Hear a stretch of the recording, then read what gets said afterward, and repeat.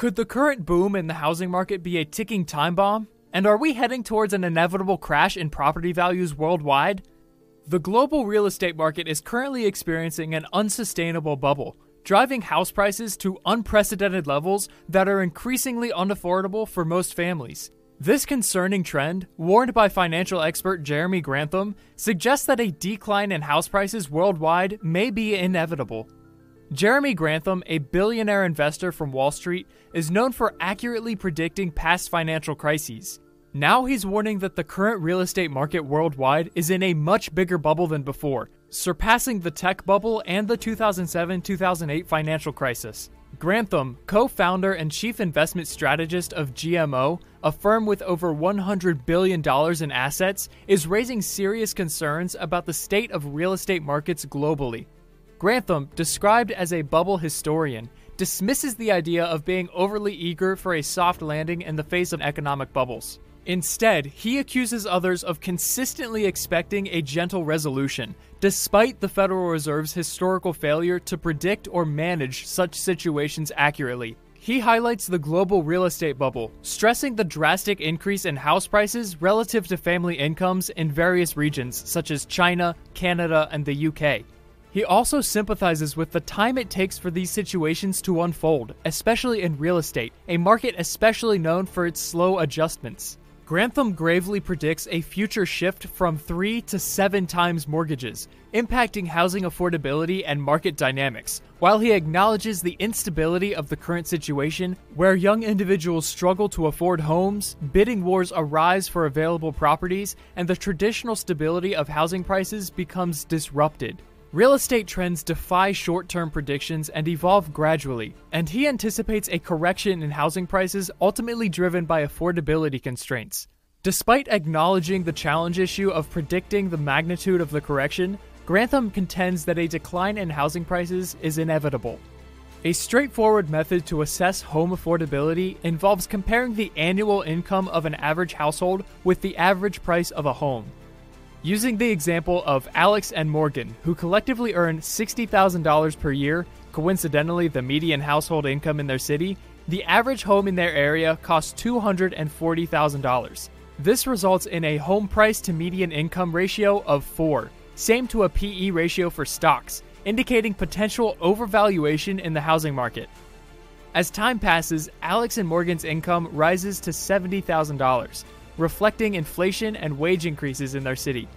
However, during the same period, the average home price skyrockets from $240,000 to $422,000, causing the ratio to increase to 6.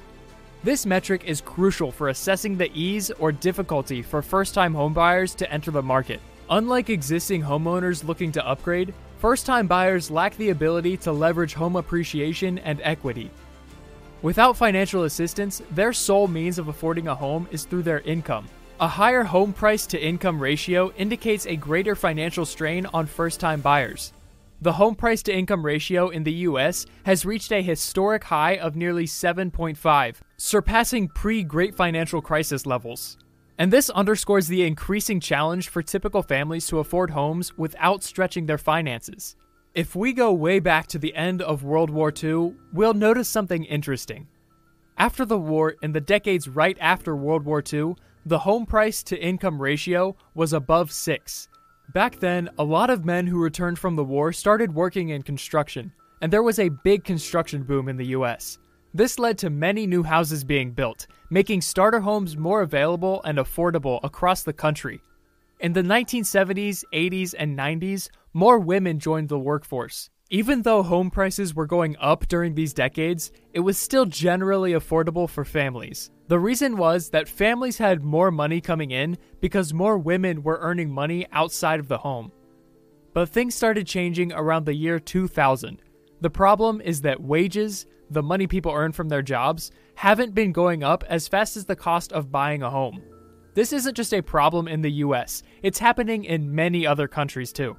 For example, in the UK, the ratio of home price to income recently went over 9. In Australia, it's even worse. The ratio is over 10.5. In big cities like Sydney, Australia, it's way higher at 16.8. That means it would take an average person over 14 years just to save enough money to afford the down payment on a house. Canada is facing similar challenges. The price to income ratio in Canada is over 10, and in major cities like Victoria, Vancouver, and Toronto, it's even higher, over 16, 15, and 12, respectively. This situation isn't new. Throughout history, we've seen different countries experiencing real estate bubbles. In the late 1980s, for instance, Japan had a significant increase in home prices, reaching a ratio of 7.4 in 1989. In that same year, the United States ratio was only 3. Now, looking at Japan, we saw that home prices eventually came back down to normal. This is just one example, but throughout history, it's pretty common for real estate bubbles to pop up in certain countries and cities. What's different now is that for the first time ever, it seems like this potential real estate bubble is happening on a global scale. It's not just super high home prices causing trouble. The final blow to global home affordability has been the big increase in interest rates over the last 12 to 18 months. Let's use the United States as an example. In 2022, a whole 78% of homebuyers used a loan to buy their homes. In 2021, it was even higher at 87%. Basically, about 8 out of every 10 buyers need a mortgage to buy a house. Because most buyers use loans, housing affordability is super dependent on interest rates. In the US, people often use a 30 year fixed rate mortgage. With this type of mortgage, the interest rate stays the same for the whole 30 years. In January 2021, the average interest rate on a 30 year mortgage was 2.65%. Since then, rates have been climbing and are now nearly 8%. You'd think that with higher rates, home prices would have come down a lot, right? Well, that hasn't really happened. At the beginning of 2021, the average home price in the US was $439,000. At that price, with a 2.65% interest rate on a 30 year mortgage and a 20% down payment, the monthly mortgage payment would be $1,320.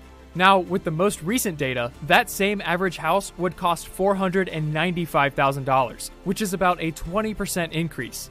But here's the tricky part if we factor in the higher interest rate, with an 8% rate, the monthly mortgage payment shoots up to $2,996.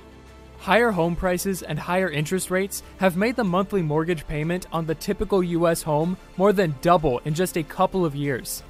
This situation, according to Grantham, is not sustainable, and something's got to give. The big question, though, is when the real estate bubble will finally burst. Unlike the stock market, where things happen pretty quickly, the real estate market moves much slower. In the stock market, prices change almost instantly, and it's easy to buy and sell stocks. Real estate, on the other hand, is more challenging. It takes weeks or even months to agree on a price between the buyer and the seller. Plus, there are costs for brokers, agents, lawyers, and inspectors, making the whole process more complicated. All these factors mean it takes longer for real estate prices to adjust to new economic realities. Let's imagine a situation in your neighborhood to understand the point. Suppose one of your neighbors gets a new job and needs to move for work.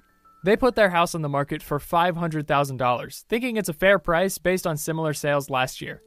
However, they don't consider that interest rates have gone up significantly in the past year, making it more expensive to use a loan to buy a house. The house sits on the market for a few weeks without much interest from buyers. Your neighbor decides to wait it out and keeps the price the same, believing a buyer will come eventually. On the other side, buyers are thinking the prices are too high given the current interest rates. This creates a mismatch between what sellers want and what buyers can afford. This situation is happening in the real estate market globally, leading to a significant drop in the number of real estate transactions, hitting a nearly two decade low. Now let's revisit the story of your hypothetical neighbor. While waiting for their old house to sell, they decide to buy a new one closer to their new job, resulting in two mortgage payments each month. Eventually, they become a forced seller because they can't afford both payments. To sell the house, they lower the listing price and it finally sells. This example helps illustrate why it takes time for real estate prices to adjust lower after a shock to the market, like a slower economy or higher interest rates. In real life, when there's a shock to the real estate market, buyers try to wait it out. However, due to life events or financial distress, some homeowners become forced sellers, leading to a decline in real estate prices as they add inventory to the market. Looking back at history, home prices in the US peaked in the first quarter of 2007, but it took nearly five years for the real estate bubble to fully deflate by the end of 2011. The future remains uncertain, but one thing is clear either prices or interest rates need to come down for global home affordability to return to more normalized levels. If that doesn't happen, we might enter a period where home ownership becomes out of reach for many people worldwide. Lastly, it's important to stay informed about market trends and maintain a realistic budget aligned with your income and potential interest rate fluctuations. Assess the affordability of properties using the home price to income ratio, favoring options with lower ratios for better financial ease. Take a long term perspective in your approach, exploring different neighborhoods and property types while avoiding rush decisions. Enhance your financial literacy, particularly understanding the impact of interest rates on mortgage payments. Build and maintain an emergency fund to handle unexpected homeownership expenses. Seek guidance from real estate professionals and financial advisors to make well informed decisions.